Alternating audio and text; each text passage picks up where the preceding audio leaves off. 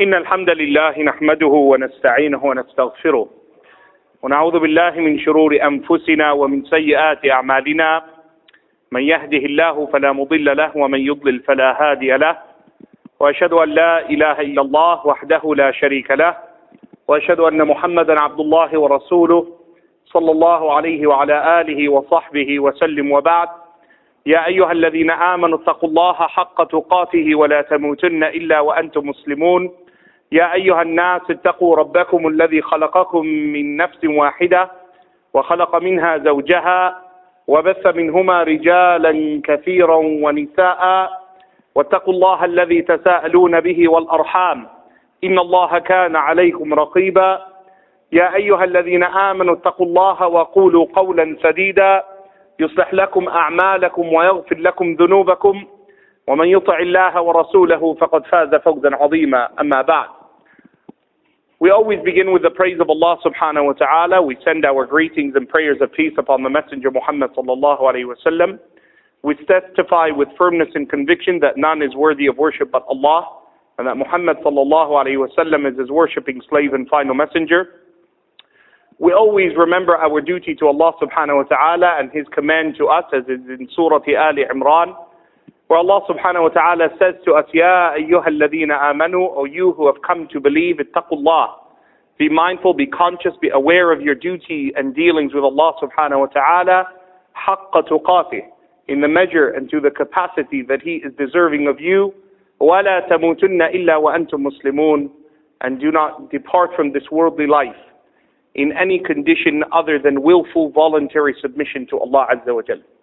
Uh, we ask Allah subhanahu wa ta'ala in beginning in this blessed day of Jumu'ah to make it a day of gathering for us where our sins are forgiven and that the rahmah of Allah subhanahu wa ta'ala and His barakah descends upon us and our families. Allahumma ameen.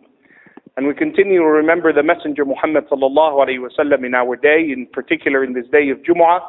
All of our Imams have taught us that the salah upon the Prophet Muhammad sallallahu alayhi wa sallam is supremely recommended for it. My topic with you today, inshallah, in short, we ask Allah subhanahu wa ta'ala to give us other opportunities to meet with each other and to study the sunnah of the Messenger Muhammad It's about a famous hadith of the Prophet which is a sahih hadith, it's found in Sahih al-Jami. The Prophet sallallahu alayhi wa sallam, he says, إن الإيمان لا يبلى في جوف أحدكم كما يبلى الثوب. Surely iman becomes tarnished in you, within you, the way your clothing becomes faded. When you wear something often, naturally, as a consequence of it, the more you use it, without mending it, without caring for it, sometimes there's tears and cuts. And these tears or cuts are things that you and I experience all the time in our life, in our Iman.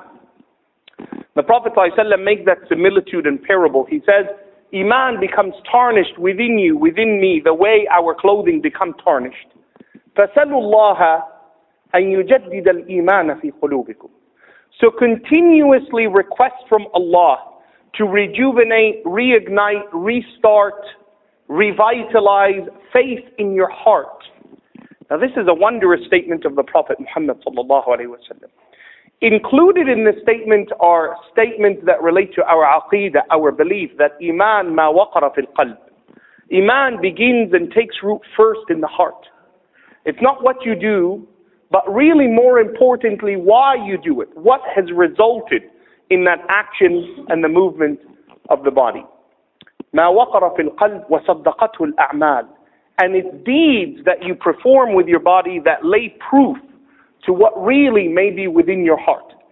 And as such, Allah subhanahu wa ta'ala structured the difficulties that you and I encounter in life as being an opportunity for us to either draw closer to Allah or be more distant.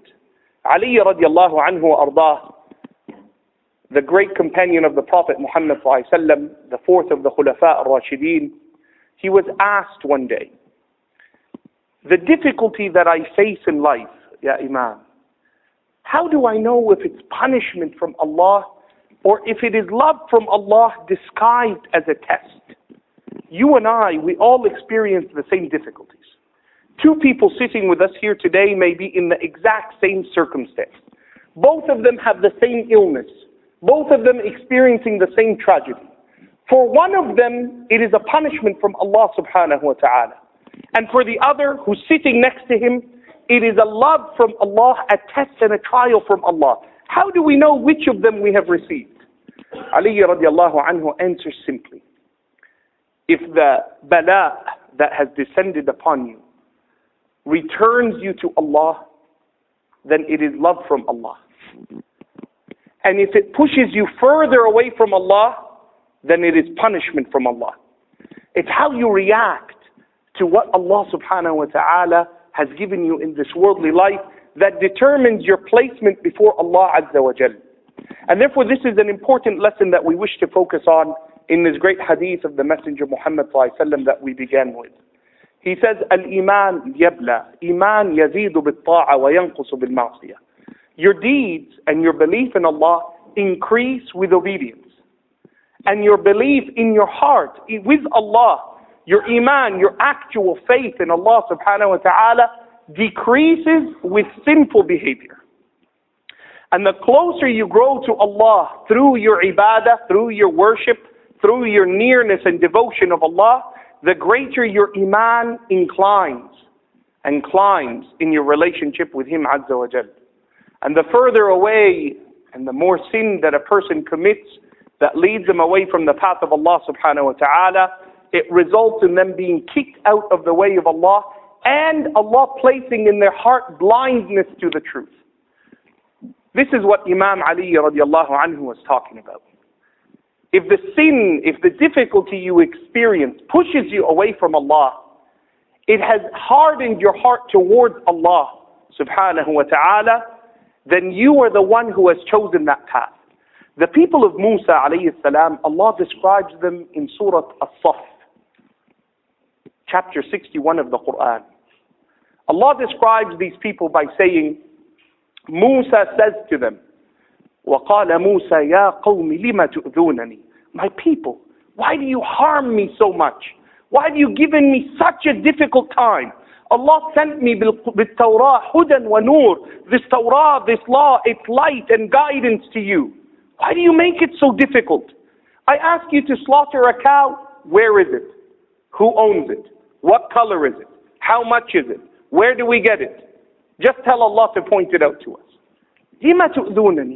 Why is there so much difficulty in you responding to the truth? وَقَدْ تَعْلَمُونَ أَنِّي رَسُولُ اللَّهِ إِلَيْكُمْ And Allah has shown you, I am the messenger of Allah to you. The sea was split. Fir'aun was drowned. His army was subdued. The rock bled water for you to drink. المن والسلوى descends upon you in Fajr and Maghrib. تعلمون أني رسول الله إليكم.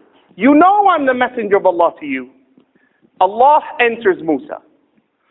Allah subhanahu wa ta'ala says, فَلَمَّا زَاغُوا أَزَاغَ اللَّهُ قُلُوبَهُمْ When they deviated from the truth, Allah turned their heart away from it. And you see this. You and I see this in our life. A person upon righteousness, good deeds, does something wrong. And Allah subhanahu wa ta'ala may give him an opportunity to recount himself and bring himself back to the way of Allah. Others, they do something wrong internally, not just externally.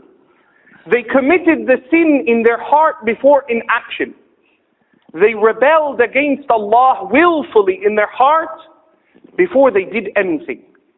And once they made that choice and moved away from Allah subhanahu wa ta'ala, in heart and action, Allah طبع على قلوبهم فهم لا يفقهون. Allah seals their hearts so they can't understand the path of truth that they once recognized. And therefore Allah tells us to worry about the shaitan and to be careful. Because one of the aims of the shaitan is to take you off that clear, straight and narrow path. يُضِلَّكُمْ ضَلَالًا بَعِيدًا he wishes to take you off this path to such a degree that you cannot recognize your way back. You know, when you're lost, sometimes you make fumbled attempts to find your distance and where you've gone, and oh, if I look up this way and if I call this person, I can come back. The shaitan wants you to go to such an extreme that the person you're going to call won't lead you, won't guide you to the way that you really should be going. And Allah tells us of this description in Surah Al-An'am that awliya'uhum, they say to them, come back to the truth.